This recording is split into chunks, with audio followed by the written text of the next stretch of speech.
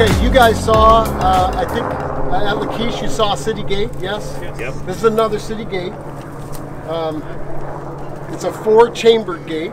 Did we talk about the chambers of gates? Okay, so you got Yes. four chambers here.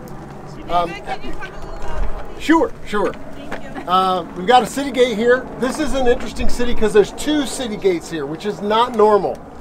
Um, the see Sha'arim could mean two gates. That might be why uh, why it's called that. But one thing I want to point out because you could look for this for the next ten days as you travel around, and this may have been mentioned. So forgive me if I'm if I'm telling you something you know. But every time you see something like this, you see this line right here. That means everything below it, when they excavated this, it was, I think, about 15 years ago. Does that sound right, Adam? 10 to 15 years ago, Hebrew University? Yeah. Um, everything below that marker was here exactly that way when they uncovered it. Everything above that line is just rocks nearby they, they've begun to rebuild to give us an idea. Oftentimes you'll see it, so you see it right here too. Oftentimes it'll be painted black in some places. And whenever you see a line like that, it just lets you know, you know, when they come in, like any tell, it just keeps getting covered over. And so when they found this, they began digging and uh, started some a little bit of reconstruction. But obviously, it's not. There is a parking place over here, uh, but it's not very easy for a bus. So. Um, so we got the long route, So you say when they're digging, do they come up here with equipment, or is it like an archaeological? dig? archaeological dig. Is it? Okay. What, what's interesting is if you, the pain of uh, living in Israel, if you want to build something, you have to, you have to.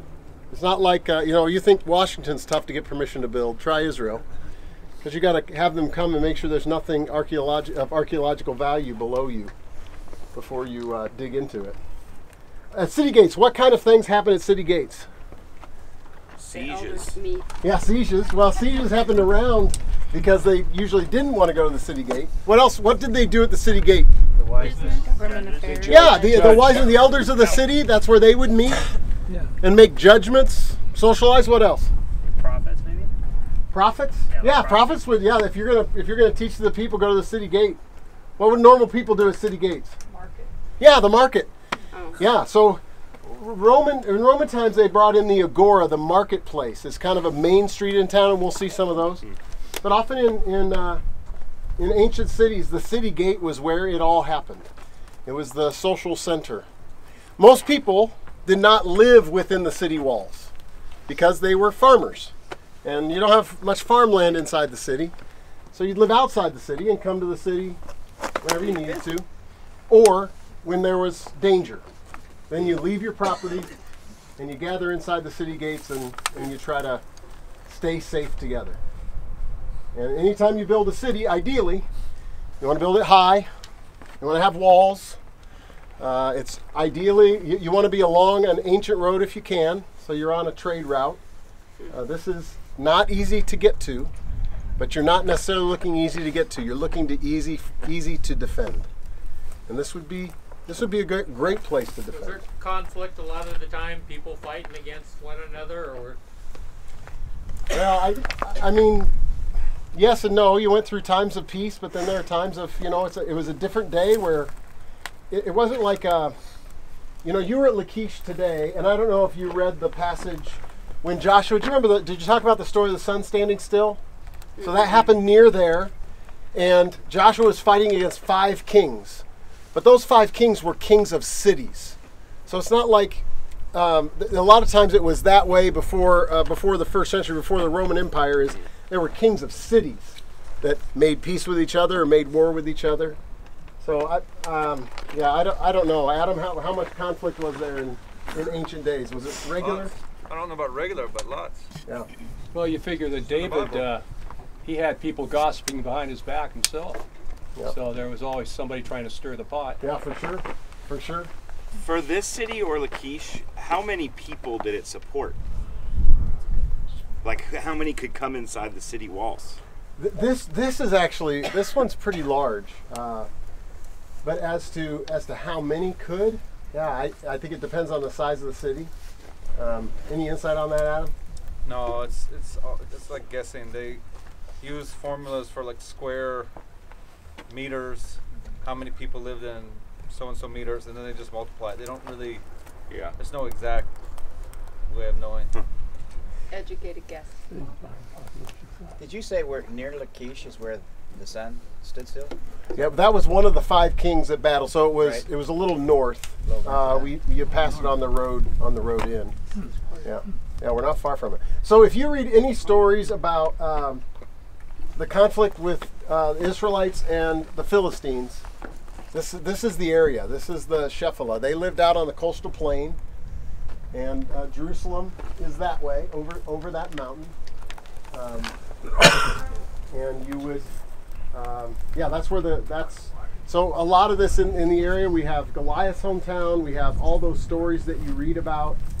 Um, there's uh, Beth Shemesh is where uh, Samson was buried, I believe, which is we pass you'll pass on the way out. So this is a lot of Philistine uh, conflict here. And then Joshua, when he when he conquered Jericho, then he conquered the south part of the country.